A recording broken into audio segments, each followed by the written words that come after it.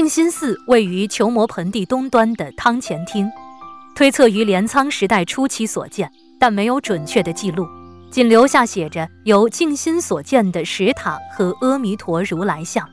但这位静心究竟是谁，至今依然不得而知。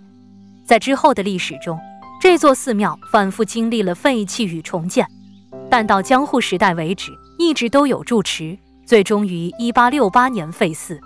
一九一五年，该寺归同镇的明岛寺所有，其后一直由整个城镇加以维护并传承至今。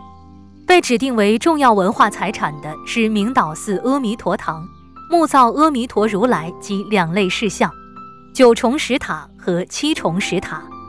阿弥陀堂被认为是四柱佛堂的基本形式，是熊本县内最古老的木造建筑，横向和纵向长约七点三三米。高约十二米，佛堂为五殿式茅草顶结构，柱子均为圆柱。佛堂内部，在安放阿弥陀如来三尊像的须弥坛四周，竖着由铁山和冷山造的柱子，并设有墙壁。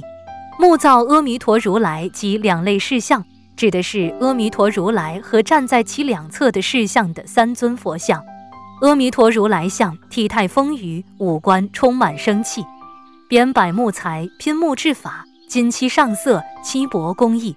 饰像的姿势为微微抬起主佛一侧的脚，腰部向外扭，内侧的手微微上抬。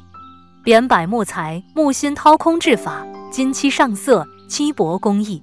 华丽唯美的三尊佛像，相传是静心为了祈祷极乐往生及灭罪成佛而造的。此外，两座石塔中，九重总高四点二八米，七重总高三点八六米，是轴体与伞状屋檐分别建造后组合而成的尖层式层塔。每层的四面均雕有阿弥陀佛，是散发着木造塔气息的石塔。该寺在大正时代以后，逐渐被称为成全寺，如今这个名称在当地已是家喻户晓。